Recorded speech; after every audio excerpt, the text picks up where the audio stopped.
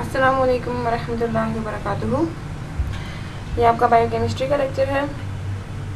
इसमें हम पढ़ रहे थे bio biochemistry of amino acids जो कि आज कंक्लूड हो जाएगी अमाइनो एसिड्स की। फिर हम नेक्स्ट स्टार्ट करेंगे अपनी बायो बायोकेमिस्ट्री ऑफ़ प्रोटीन इंशाल्लाह।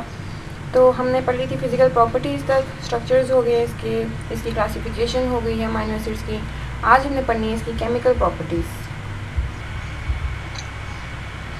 सबसे पहले आती है प्रॉपर्टी इसके अंदर आपको पता है दो ही जो दो जो हैं वो फंक्शनल ग्रुप्स हैं, एक कार्बोक्सिलिक ग्रुप और एक अमाइड ग्रुप तो पहले हम बात करेंगे उन प्रॉपर्टीज़ की केमिकल प्रॉपर्टीज़ की, जो कि कार्बोक्सिलिक ग्रुप की वजह से हैं। सबसे पहले तो केमिकल प्रॉपर्टीज़ क्या होती हैं? केमिकल प्रॉपर्टीज़ ये होती हैं कि केमिकली किस तरह से ये कंपाउंड जो है वो रिएक्ट करेगा, जो रिएक्शन में इन्वॉल्व होगा, ठीक है?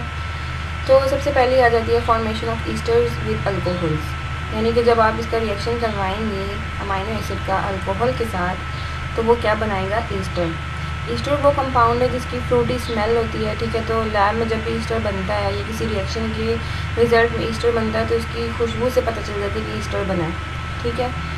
तो उसके बाद जो नेक्स्ट प्रॉपर्टी वो है reduction to amino acid amino alcohol in presence of lithium aluminium hydride अच्छा ऐसा होगा कि लिथियम एल्यूमिनियम हाइड्राइड जो कंपाउंड है, इसकी प्रेजेंस में जो अमाइनो एसिड है, वो रिड्यूस होके बनाएगा अमाइनो अल्कोहल ठीक है? ऐसा अल्कोहल जिसमें अमाइनो ग्रुप लगा हो, ये बनाएगा। ये भी इसकी क्या है? केमिकल प्रॉपर्टी है।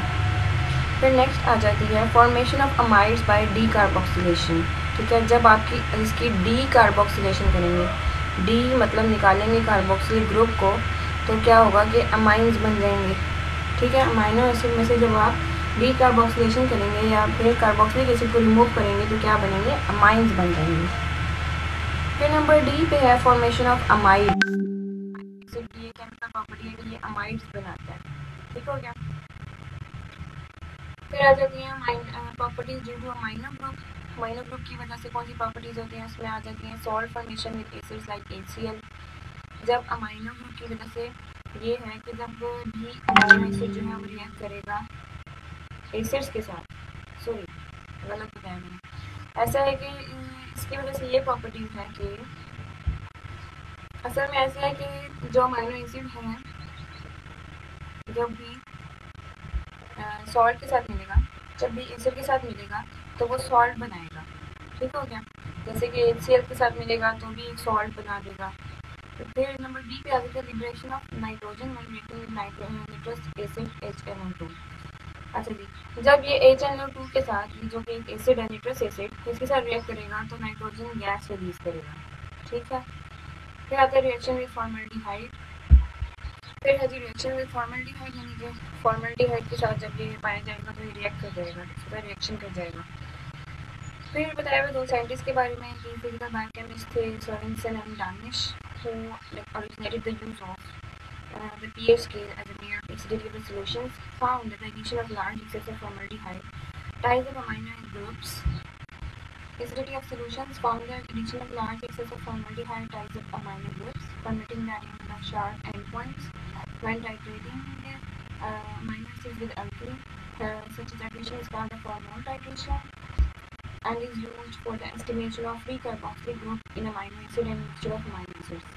अच्छा जी फॉर्मोल ट्रेडिशन की बात होती है इस रिएक्शन में जो कि सी में बताया गया रिएक्शन में फॉर्मल्डिहाइड तो ये दो साइंटिस्ट ने फाइंड आउट किया कि जब हम फॉर्मल्डिहाइड ऐड करते हैं तो, तो क्या होता है कि फॉर्मल्डिहाइड जो है वो माइनो ग्रुप को इसके साथ जाके बाइंड कर जाता है और वहाँ से रिलीज़ करवाते हैं इस पॉजिटिव आइंस जो कि फिर टाइट्रेशन में यूज़ होता है अगेंस्ट अल्कली अल्कली मतलब कि सोडियम हाइड्रोक्साइड यूजली यूज़ होती है टाइट्रेशन के लिए, ठीक है? तो जब फॉर्मेल्डिहाइड ऐड करते हैं तो क्या होता है कि एच पॉजिटिव रिलीज़ हो जाते हैं अमाइनो ग्रुप से, ठीक है? एच पॉजिटिव आइन जिसके अगेंस्ट हम टाइट्रेशन कर सकते हैं। और इस टाइट्रेशन को हम कहते हैं formol titration The isoelectric pH of the amino acids is that the pH at which it has no net charge and hence does not move in an electric field. ये हम लोग पढ़ चुके हैं isoelectric pH जहाँ पे वो zwitter में एग्जिस्ट करता है। ज्वेटर क्या है? जिसमें दो पोल हैं पॉजिटिव एंड नेगेटिव पोल ठीक है? यानी कि पॉजिटिव चार्ज भी है और नेगेटिव चार्ज भी है। वो है हमारा ज्वेटर ठीक है? तो जिस पी एच पे वो एग्जिस्ट करेगा, उसमें हम कहते हैं आइसो इलेक्ट्रिक पी एच तो ये कह रहे हैं कि isoelectric P H of amino acid is that P H at which it has no net charge जिस पे उसको कोई नेट चार्ज नहीं है। यानी एज अ होल न्यूट्रल है hence does not move in electric field ज़ाहिर है उस पर चार्ज नहीं होगा तो इलेक्ट्रिक फ़ील्ड उसके ऊपर कोई इफ़ेक्ट नहीं कर सकती। ठीक हो गया? उसको मूव नहीं करेगा। Zwitter information क्या है? The acidic and basic group within the same molecule of an amino acid react with each other. अच्छा जी इसमें क्या होता है कि जो एक ही माइनस एसिड है, उसमें कार्बोक्सिलिक ग्रुप भी है और अमाइड ग्रुप भी है, यानी कि एसिडिक ग्रुप भी और बेसिक ग्रुप भी है। ये हो गया बेसिक ग्रुप ये हो गया एसिडिक ग्रुप ठीक है? जब ये आपस में ही रिएक्ट कर जाएँगे और क्या होगा कि इसका एच जो है, इसके साथ जाके लग गया। इधर डेफिशिएंसी होगी तो नेगेटिव आ गया। और इधर जो है, वो ज़्यादा ये है तो इधर पॉजिटिव आ गया, ठीक हो गया। ये बन जाएगा डाईपोल यानी नेगेटिव चार्ज भी है पॉजिटिव चार्ज भी है।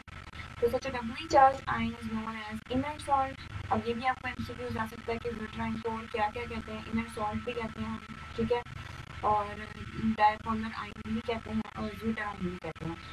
तो कह रहे हैं कि इस तरह के रिएक्शन के नतीजे में जो बनेगा वो होगा इनर सॉल्ट या ज्यूटर आयन या फिर dipolar ion Amino acids exist over 50% in dipolar और ज्यूटर आयन फॉर्म जो 50% जो है, इसकी एग्जिस्टिंग फॉर्म जो है अमाइनो एसिड की वो एज ज्यूटर आयन है ठीक है?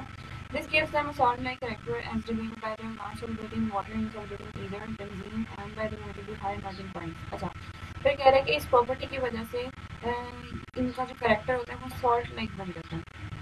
ठीक है, नमक के जैसा सॉल्ट लाइक और फिर सॉल्ट जो है वो हमें पता कैसे चला कि ये सॉल्ट लाइक हो गया। क्यों? इसकी कुछ प्रॉपर्टीज़ की वजह से। वो क्या है कि ज़्यादातर पानी में ज़्यादा सोडियम सॉल्ट होता है, ठीक है? और ईवन में इनसॉल्युबल होता है बेंजीन में नॉन पोलर सॉल्वेंट्स में क्या है? इंसॉल्युबल में और पोलर में सॉल्युबल है ठीक है? और साथ साथ इसके मेल्टिंग पॉइंट भी ज़्यादा है इन सारी प्रॉपर्टीज़ जो है, वो सॉल्ट्स की होती हैं तो हमें ये पता चलता है कि एज वाटर आइन जो है ये ज़्यादातर एग्जिस्ट करता है और फिर प्रॉपर्टीज़ इसकी होती हैं सॉल्ट्स की जैसी। ठीक है? तो अमाइनो एसिड हमारा यहाँ पे कंप्लीट हो गया है और नेक्स्ट हम स्टार्ट करेंगे बायोकेमिस्ट्री ऑफ़ प्रोटीन्स तो नेक्स्ट लेक्चर तक के लिए अल्लाह हाफिज़। वालेकुम